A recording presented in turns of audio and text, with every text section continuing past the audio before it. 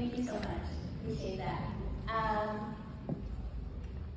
the Bronx is moving? Is that where we left off? Right? Okay, absolutely. Next slide.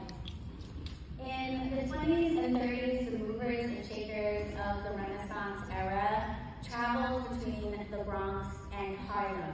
And they actually called the South Bronx Little Harlem. As they traveled between the two neighborhoods, they carried with them their cultural traditions, their spiritual practices, and yes, their magic. And they shared much of those practices with each other in important third spaces like their local coffee shops. Today, the Bronx has a problem.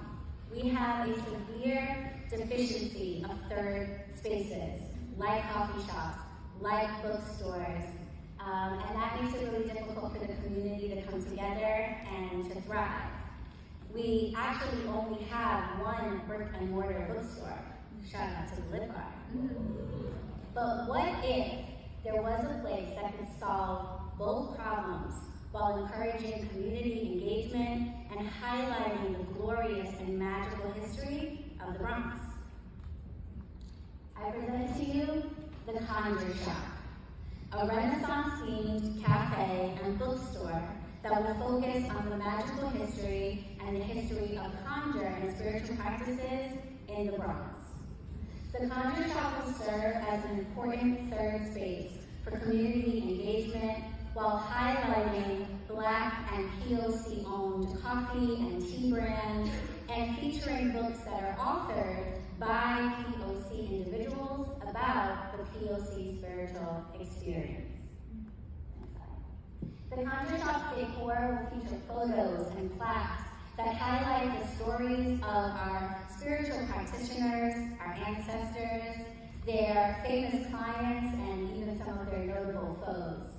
And our retail will focus on POC authored books that center around the diasporic practices of hoodoo, voodoo, espiritismo, and more.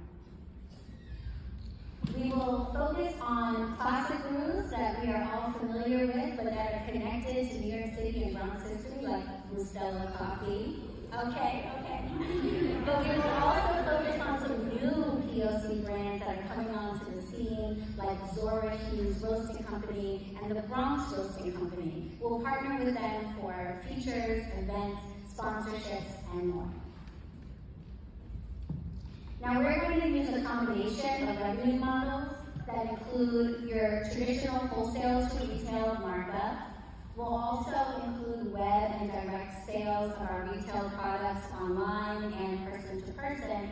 And we will also take advantage of subscription-based membership models so we can really build a community and a family experience for those members of the neighborhood that are our patrons.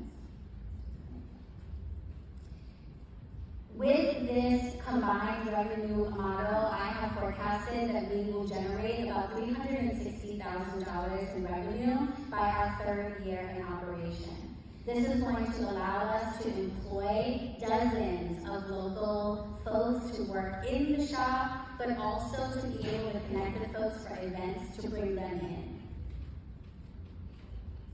One of the most important things we want to do is focus on being an attraction for the area, but beyond that, the revenue that we expect to raise will allow us to extend into other parts of the city, like New Rochelle, Harlem, and Brooklyn, where there are similar cultural and spiritual histories that need to be told. With the prize money that we win here today, we will be able to launch into the real estate and research process, which will allow us to find the perfect location. That's our number one challenge, and we'll be overcoming that by winning this competition here today.